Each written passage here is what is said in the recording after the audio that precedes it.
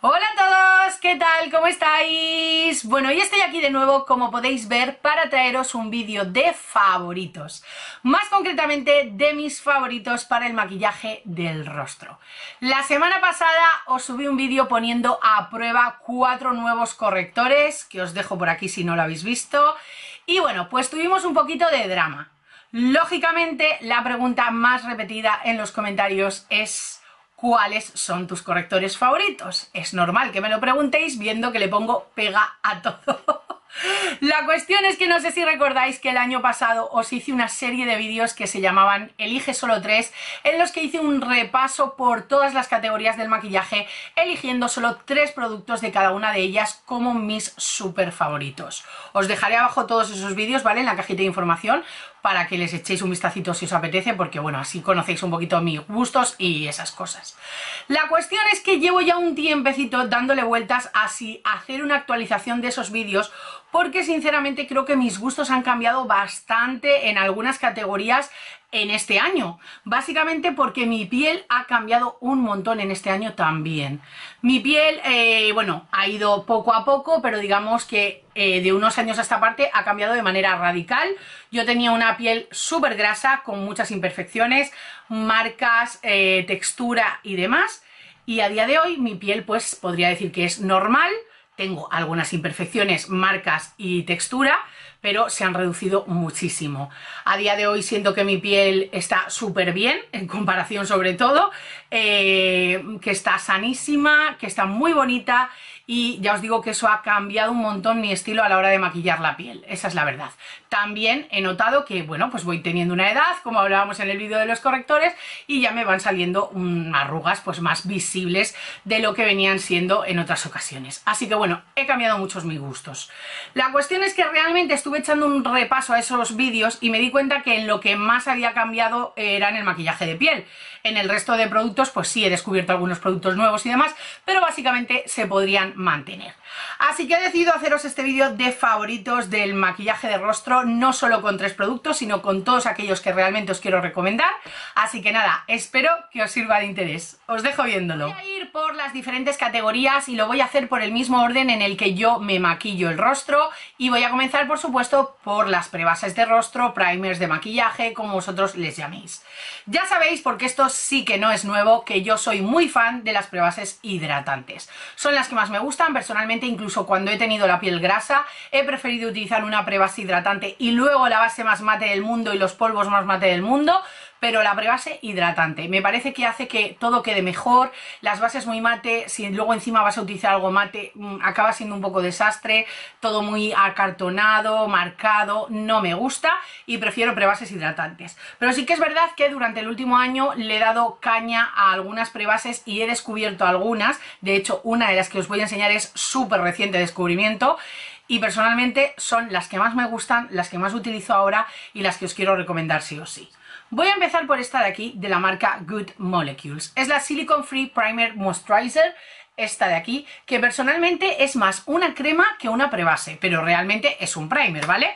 Eh, tiene una textura crema, es súper ligera en el rostro, e hidrata muchísimo, deja la piel súper bonita, natural, me encanta. Es que pongas encima la base que pongas, queda bonita. Eso es así. De verdad, eso es así. Es una lástima porque Good Molecules digamos que no es fácil de conseguir aquí en España. Se puede comprar sin problemas, pero sí pueden haber problemas de aduanas. De hecho, a mí desde la marca me mandaban cositas y han dejado de enviármelas porque las paraban en aduanas y tenían que pagarme la aduana, vamos, la tasa.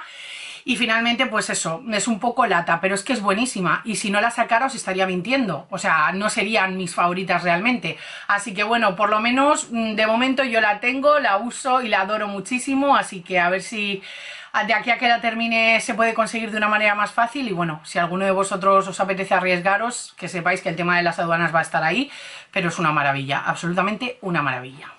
Mi más reciente descubrimiento y amor total y absoluto por una prebase de maquillaje es esta de aquí de Hypoallergenic de Bell, la Boosting Skin Concentrate que precisamente os enseñé en el último vídeo de recibidos porque me llegó el mes pasado.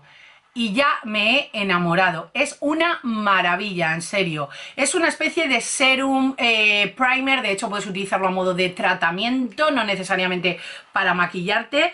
Eh, tiene una textura súper ligera, que es que mm, los, los, estos y yo no nos llevamos bien, los mm, estas, mm, pero bueno, en fin. Una textura súper ligera, que queda súper luminosa en la piel, la deja completamente perfeccionada, hidratada. Es que ahora mismo se me acaba de perfeccionar completamente este trocito de la mano, está súper suave. Eh, hace que las bases de maquillaje encima, sobre todo a lo mejor las que son un poquito más cubrientes y mate, queden perfectamente naturales, perfectamente mm, integradas. Es increíble, de verdad, es increíble. Descubrimiento mm, recientísimo, pero que merece muchísimo la pena y ya veis que se ha colado en super favoritos y eso es por algo. Y por último, la tercera prebase es una prebase muy diferente. Es una prebase que realmente quiero destacar porque es de las pocas que realmente me gustan en este estilo porque no soy de este estilo de prebase. Y es la de la marca The Ordinary que se llama High Ability Fluid Primer, que me cuesta mucho decirlo, y es una prebase completamente asiliconada, pero completamente. Sabéis que de siempre no he sido nada fan de las prebases con silicona, no me gusta ese efecto como de peliculilla grasa que se queda eh, por el rostro, no sé, nunca me ha gustado. De hecho, yo suelo llevar alguna prebase de ese tipo en mi maletín de maquillaje porque tengo clientas que les gusta verse ese efecto de piel sedosa, falseada y tal, aunque no es para nada mi estilo. Pero cuando probé esta, fue como en plan, ¿perdona? O sea, es silicona pura, si es que es silicona pura, pero deja la piel tan bien, o sea, pero tan bien, no deja esa película grasa a pesar de que difumina absolutamente todo, tiene un efecto blurring total y absoluto, eh, deja las bases preciosas encima, eh, de verdad, quiero recomendarosla porque me parece maravillosa y porque sé que hay gente a la que le gusta este tipo de prebases y para mí, como os digo, esta es la única que realmente merece la pena. Paso a las bases de maquillaje, que aquí tengo un poquito más de tela que cortar. De hecho, he seleccionado 6. He estado dudosa con un par más, que no sabía si meter o no, pero finalmente he decidido que no, porque no las utilizo tanto y porque, pues digamos que estas sobresalen un poquito más. Con respecto a tema bases de maquillaje, sí que he cambiado, bueno, un giro absoluto, total y absoluto. Porque he pasado de querer usar y adorar las bases de maquillaje cubrientes, mate, eh, densas y demás, a todo lo contrario. Yo a día de hoy, ¿qué busco en una base de maquillaje? Bueno, pues busco una base de maquillaje con una textura relativamente ligera, me da igual siempre que yo la lleve cómoda en la piel, de acabado natural, la cobertura me da un poquito igual, pero yo lo que quiero es que no se acumulen pliegues, que no reseque, que no gente, que no marque, no sé, eso es lo que yo busco. Me gusta, eh, como os digo, el acabado natural, no me importa un poco de glow tampoco, pero bueno, yo lo que quiero sobre todo es eh, piel bonita, sana y me da igual si me sale un brillo, así de claro, me da absolutamente igual, porque de hecho ahora mismo pues ya no tengo la piel tan grasa, los brillos los tengo más o menos controlados y que me salga un brillo a las 4 o 5 horas es que me da absolutamente igual, lo mismo que con las imperfecciones. Tengo muchas menos imperfecciones que, antiguamente, pero yo sí tengo mis zonas conflictivas de toda la vida y hay bases de este tipo pues que quizá no las cubren tanto como las que utilizaba anteriormente me da lo mismo, así de claro, así de claro. Y bueno, voy a ir enseñándoos las bases, realmente no sé muy bien cómo organizarlas, pero bueno, voy a empezar por la que llevo yo hoy, mismamente, Skin Realist de Nabla. Realmente esto no es una base de maquillaje, ya lo sabéis, que de hecho la marca lo llama como tinte, eh, bálsamo tinte embellecedor, algo así. Eh, me encanta muchísimo, muchísimo. Me parece que me deja la piel súper bonita, me parece que me dura mogollón, porque además es curiosa que siendo una base como tan hidratante y tal, tenga una como una adherencia tan buena a la piel. Eh, me gusta mucho. ¿Qué, queréis que os diga? Es que me encanta. Me encanta, me encanta, me encanta, me encanta. Y de las pocas bases que uso a día de hoy, porque es que ya sabéis que yo a día de hoy, para lo que es salir a la calle y demás, no utilizo base de maquillaje. Pero bueno, para grabar y todo eso sí, para cuando quiero ir un poco más arreglada también. En fin, pues eso. Estas seis son de las pocas que utilizo a día de hoy, alguna de hecho menos, pero por el tono y esas cosas. Ahora os contaré. Bueno, Skin Realist de Nabla, top, total y absoluto. Otra base de maquillaje que me encanta, que os recomiendo un montón y que me sorprendió mucho también, es la Serum Foundation de The Ordinary. Sabéis que tengo las dos, os hice un vídeo sobre ellas, la Serum Foundation y la Coverage Foundation es, dejadme un momento que no me acuerdo cómo se llama, sí, Coverage Foundation. Realmente son muy similares, muy similares, no hay mucha diferencia entre ellas, pero la Serum Foundation me gusta más. Me parece que deja la piel muy bonita, eh, es que me gusta mucho, de verdad, me gusta mucho. Me parece una base que es ahora mismo lo que yo busco, además tiene una textura agua increíble, o sea, es que es súper, súper líquida y no sé, me va fenomenal, pero fenomenal. Otro reciente descubrimiento que la verdad me está encantando y quiero incluirlo porque creo que merece realmente la pena es la base de maquillaje de la marca Bodyography. Es la Oil Free Natural Finish Foundation. Es que creo que tiene otro nombre pero en, el envase no lo pone. De todas maneras, por supuesto, abajo os dejaré el nombre de todo y los tonos que yo utilizo, ¿vale? por si os sirven como referencia, o al menos los que yo tengo. Bueno, esta base de maquillaje es eh, más cremosa, diría que aquí sí que introducimos como una crema hidratante eh, dentro de la base, yo la noto al menos así, tiene una textura como más crema, eh, recién puesta queda como muy jugosa, incluso demasiado, incluso como si tu piel no la cogiera bien, pero al poquito, al menos en mi caso, por supuesto, hablo solo desde mi opinión y experiencia personal, eh, queda preciosa, queda preciosa, de verdad. Es quizá un poquito más densita y eso que las dos anteriores que os acabo de comentar, pero personalmente me parece que me, encanta cómo me queda, que apenas marca nada con el paso de las horas y demás, y no sé, me gusta un montón. Creo que merece mucho, mucho la pena. Una base que me gusta muchísimo, pero ahora mismo no estoy utilizando por el tema del tono, ¿vale? Es la de Rare Beauty. Esta base de maquillaje me gusta un montón, es totalmente el estilo de base de maquillaje que me gusta, que quiero ahora, lo que os he comentado antes. Lo que pasa es que yo me la compré eh, cuando salió Rare Beauty en España, estaba más morenita, eh, ahora mismo me queda oscurísima, es la 210N, ¿vale? Abajo os lo dejaré, pero yo os lo digo, pero me encanta, tiene una textura también súper líquida, de hecho lleva bolitas para que se mezcle todo bien, eh, a mí personalmente me deja un acabado natural que me encanta, no sé, es totalmente el estilo que me gusta ahora, totalmente. Os voy a enseñar ahora la que es posiblemente mi base de maquillaje favorita a día de hoy.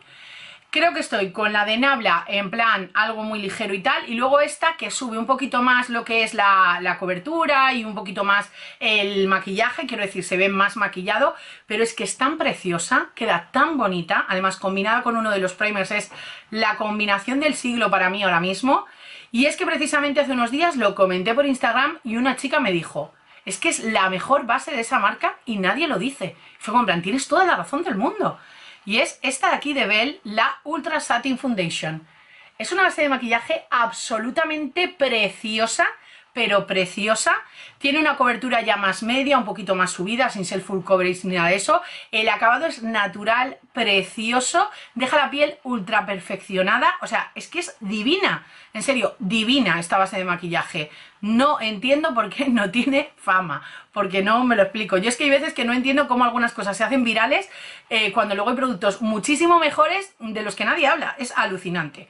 Bueno, la cuestión es que se me ocurrió probarla con la prebase Boosting Skin Concentrate de Hypoallergenic de Bell y es el combo del siglo. O sea, ¿quieres una piel bonita, sana, cubierta y flawless? Eh, este combo, así os lo digo. Es el combo, el combo, maravilla pura. Y ya la última base que he seleccionado es muy diferente a todas estas que os acabo de enseñar, eh, pero también quería incluirla porque mm, también me gusta mucho y porque creo que es una base espectacular y es la Air Flawless Foundation de Charlotte Tilbury. Para mí esta es la base de maquillaje más bonita, de alta cobertura, acabado mate que tengo ahora mismo, es la verdad. Todas las que tenía de este estilo eh, de otros tiempos las estoy descartando completamente. De hecho, eh, voy a regalar un montón de bases porque es que no las utilizo, eh, no me van bien. Bases que hace un tiempecito yo me las veía bien, ahora siento que me quedan súper cuarteadas, como resecas. Es muy raro, pero es así y me tengo que adaptar a lo que hay, así que ahora estoy por otro tipo de bases de maquillaje completamente. Pero esta es maravillosa. Cuando quiero cobertura full, cuando quiero mm, cara de porcelana y demás, Air Flawless Foundation de Charlotte Tilbury. Así de claro. Voy a vuestro momento más deseado que son los correctores. A ver, la verdad, quiero comentarlo porque tanto en los comentarios del vídeo lo hemos estado comentando y demás, del vídeo del otro día, y es que, a ver, yo creo que no hay corrector mágico. Es eh, una utopía completamente el corrector que cubra, no marque, no se meta en pliegues, no reseque a lo largo de las horas. Es imposible, algo tienes que sacrificar. Eh, está claro, o sacrificas cobertura o sacrificas los pliegues, algo hay que sacrificar aquí para que sea la perfección. Así que partimos de ahí, no hay corrector perfecto. Luego, cada persona somos un mundo, tenemos la ojera de manera diferente, aun teniendo las mismas características, puede que los productos no nos vayan de manera igual. Es muy muy relativo todo, ¿vale? Muy relativo. La cuestión es que, bueno, me ha costado, pero he decidido tres correctores favoritos. Eh, dos de ellos los tenía clarísimos y el tercero lo he puesto como propuesta también. Bueno, os cuento. Corrector súper favorito para mí a día de hoy, el de la línea Skin Sensitive de Essence. Ya os he hablado de él en varias ocasiones y de hecho hace unos días una chica me lo comentó en plan de mm, sé que Laura lo comenta siempre y no entiendo por qué no lo habla la gente, lo que comentábamos antes, y yo le contesté, es que por ejemplo no entiendo que el de NYX se haya hecho viral y este no, es que no lo entiendo. En fin, para mí ahora mismo es mi corrector, así de claro. Eh, cobertura ligera media, eh, textura hidratante, eh, acabado supernatural. ¿Se acaba metiendo en los pliegues? Sí, no hay milagro. ¿Acaba resecando? No, no reseca hemos sacrificado algo en vista del resto. Es maravilloso, queda súper bonito, me parece que es el que me deja la ojera más natural, más bonita, menos eh, arrugada, para mí es el mejor, en serio, el mejor. Y encima es que es súper barato. Otro corrector favoritísimo del que os quiero hablar es el Regeneration de Nabla. Sabéis que yo he sido súper mega fan y que os he recomendado muchísimo el anterior corrector de Nabla, que sigue existiendo, el Close Up, pero es un corrector muy diferente a lo que yo busco ahora. Es un corrector denso, con altísima cobertura, más sequito, y aunque me sigue encantando y me parece mm, de verdad de una calidad espectacular, y de hecho yo lo llevo en mi maletín, eh, ahora mismo para mí, para mi ojera, para mi gusto, no lo veo. Me lo veo un poco too much, esa es la verdad. Pero llegó Regeneration y con él me dieron en el corazón porque realmente es lo que me gusta en un corrector. Sus características son bastante similares a las que acabo de mencionar en el corrector de Essence, pero Quizá el de Essence lo noto todavía un poquito más hidratante y de acabado un poquito más natural. Pero este podríamos decir lo mismo, cobertura media, ligera media, modula ligera modulable, vamos a decirlo así. Acabado natural, acabado hidratado, pero sin exagerar, ¿vale? Tenedlo en cuenta. Lo único que no me gusta mucho es el aplicador de esponja este, pero bueno, en fin. De momento lo mantengo porque mm, es de uso solo y exclusivamente personal y no me importa y bueno, en fin, hasta que me dé el flux y se la quite. Así que sí que os lo recomiendo muchísimo, me parece buenísimo y entre estos dos están mis super fabs ahora mismo. El último corrector favorito que os voy a enseñar es un viejo conocido, pero antes comentaros que he elegido estos tres nada más porque aunque tengo algunos correctores que no me disgustan, me parece que mm, ningún otro eh, llega al nivel de estos, ¿vale? Así que he decidido no ponerlos a pesar de que me los vais a ver utilizar y me vais a ver hablar de ellos y, y esas cosas porque los tengo y los voy a utilizar. De hecho, comentaros que el que me he puesto hoy dudaba muchísimo si incluirlo en este vídeo de favoritos o no y finalmente he decidido descartarlo. No está mal, no me disgusta, pero quizá he notado que se metía un poquito en los pliegues rápido. Así que he dicho, no, no llega al nivel de los otros. En fin, tercer, y último corrector favorito, un viejo conocido. Eh, no tiene nada que ver con los que os acabo de enseñar, pero quiero mm, sacarlo como propuesta también y es el de Jouer. Os he hablado de este corrector por pasiva, por activa y por todas las partes. Es un corrector súper cubriente, súper cubriente. Es un corrector que a pesar de esa cobertura y esa densidad no tiende a resecar en exceso y no marca en exceso, al final del día sí, por supuestísimo, y como corrector súper cubriente para un maquillaje full, sin duda es el mejor, pero sin duda sin duda, sin duda, sin duda, sin duda, sin duda. Este corrector tampoco es muy fácil de conseguir ahora en España porque en Maquillalia los quitaron, que fue donde yo lo compré y donde vendían la marca. Creo que en páginas inglesas tipo Beauty Bay y demás quizá lo vais a poder encontrar, pero cuidadito tema aduanas que ahora está la cosa muy fastidiada, en serio, da mucha rabia, mucha rabia, pero de verdad que de los cubrientes es el mejor. Y ya por último simplemente me quedan los polvos. Comienzo por mis polvos favoritos para sellar el corrector, que para mí eso es vital. Ya pudisteis ver que personalmente será por mi tipo de ojera, por los correctores o lo que sea, es eh, prácticamente imposible que el corrector me dure bien eh, sin sellarlo. No sé, mm, yo tengo que sellarlos sí o sí, básicamente. Utilizo muy poca cantidad de polvo, polvo muy fino, pero tengo que sellarlo. Y mis favoritos, sin ninguna duda, porque lo sabéis, porque os lo he repetido también por activa y por pasiva, son los polvos sueltos de Danesa Myrix, los Evolution Powder, en el tono 01, en el tono translúcido, en el tono blanco. Realmente son los únicos, y lo digo bien grande, los únicos polvos translúcidos blancos que me gustan. Porque no dejan blanco. porque son realmente translúcidos. Me da igual cuántas veces las marcas digan que no mm, son con, color y que quedan transparentes porque mienten, todos quedan blancos, a mí al menos. Y estos no, estos quedan divinos, pero divinos, perfectos, me encantan. Son el polvo más fino, mm, más eh, mm, efecto difuminado eh, que he probado jamás. Y son maravillosos para sellar el corrector merecen cada céntimo que valen, aunque son caros. Estos son una mini talla, del set de mini tallas, pero ya sabéis que los he vuelto a comprar en grande y todo, porque bueno, todavía me queda, pero yo ya tengo que tenerlos, no me pueden faltar. Y sinceramente podrían ser estos solo y exclusivamente mis polvos favoritos para sellar el corrector, pero bueno, quiero añadir otros más también porque siempre me han parecido espectaculares, lo sabéis. Y aunque creo que ahora voy más por el lado de los de Danesa, estos también merecen la pena. Y son los polvos sueltos de Fenty Beauty. Yo sigo teniendo el tarro este gigante. es que habré gastado medio, ¿eh? Con la tontería, menos, menos de medio. Pero eh, hay mini talla, compraos la mini talla, no se os ocurra compraros este pedazo de bote porque esto es interminable y funcionan muy bien en la zona de la ojera, funcionan muy bien también en el rostro, ¿eh? ambos, también los de Danessa Myrix en el rostro, funcionan muy bien, así que son un poquito más mate, es un concepto diferente, pero es un polvo también finísimo y de una calidad espectacular.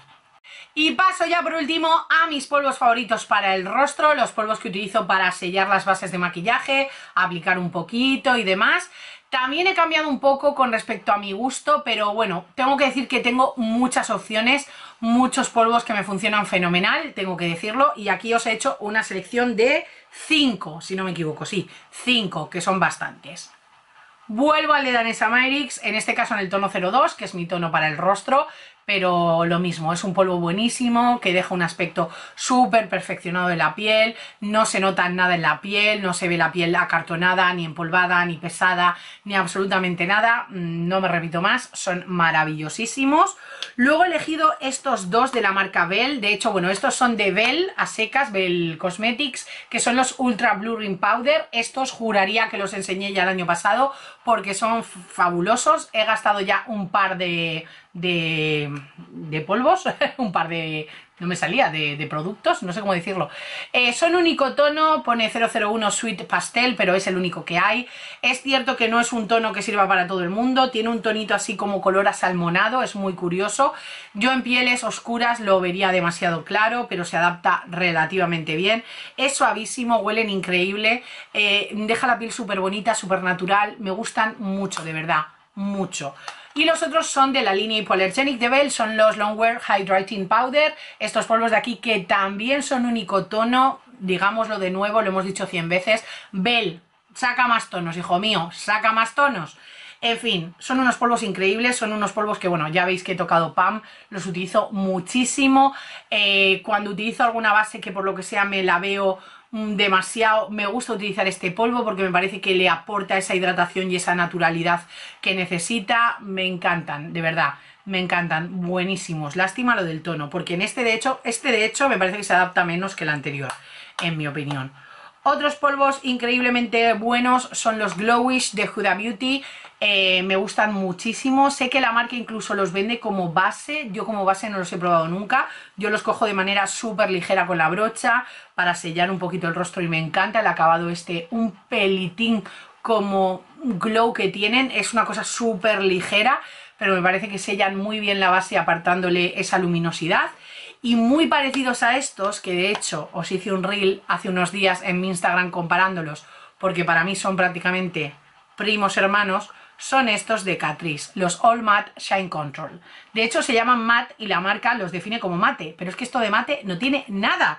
son súper parecidos a los de Huda Beauty, tienen ese efecto como un poquito luminoso, no son exactos de tono y demás, pero quedan prácticamente iguales en la piel, en mi Instagram podéis ver el reel y vosotros mismos podéis juzgar y de verdad, que, me parecen espectaculares también y merecen muchísimo la pena. Y ya los últimos son unos clásicos favoritísimos míos que tienen que estar en este vídeo sí o sí porque si no, no sería real y son los close-up compactos de Nabla. Para mí son de los mejores polvos que hay, sinceramente. Eh, no son hidratantes, eh, pero tampoco son excesivamente mate. Dejan la piel súper bonita, sellan súper bien, hacen que aguante mucho la base gracias a ellos. Y a mí me gusta aplicarlos de manera muy ligera en la parte central, que es donde, pues digamos, más, grasas, más grasa genero y de verdad que son maravillosos, así que siempre los tendré conmigo, los uso de manera profesional, son increíbles, absolutamente increíbles. Y bueno chiquis, pues hasta aquí este repaso de favoritísimos para el maquillaje de rostro. Tenía muchas ganas de haceroslo, de que vierais qué productos son los que ahora utilizo más y me gustan más, porque ya os digo que he cambiado mucho. A lo mejor algunos que me conozcáis de unos meses hasta aparte no, no habéis conocido el cambio, pero los que me conozcáis de hace años, que sabéis que llevo por aquí más de 11 años, eh, no, no soy la misma persona. O sea, mi piel y mis gustos han cambiado tantísimo, tantísimo, que yo misma he hecho la vista atrás y pienso, no imaginé nunca que esto fuera a pasar. Sabéis que yo era, bueno, rechazo total y absoluto a coloretes, iluminadores en crema, líquidos, rechazo total. Ahora me encantan. Así es la vida, así pasan las cosas a veces, uno nunca sabe. Así que nada chiquis, espero que os haya gustado este vídeo, por supuesto, espero vuestros comentarios, contadme abajo qué os han parecido mis favoritos, si coincidimos en alguno si me queréis recomendar algún producto, encantada de leeros. Y abajo en la cajita de información, como os decía, os dejaré los nombres de todo, con tonos y todas esas cosas. Os dejo también mis links a redes sociales para que me sigáis si os apetece y cualquier otra cosita de interés, ya sabéis que ahí está, así que no olvidéis echarle un vistacito. Tampoco os olvidéis de suscribiros al canal para no perderos absolutamente nada y dejadme vuestro like. Muchísimas gracias a todos por estar por aquí, muchísimas, muchísimas gracias de corazón y ya lo sabéis, nos vemos dentro de nada en un nuevo vídeo. Un besazo enorme a todos. ¡Chao!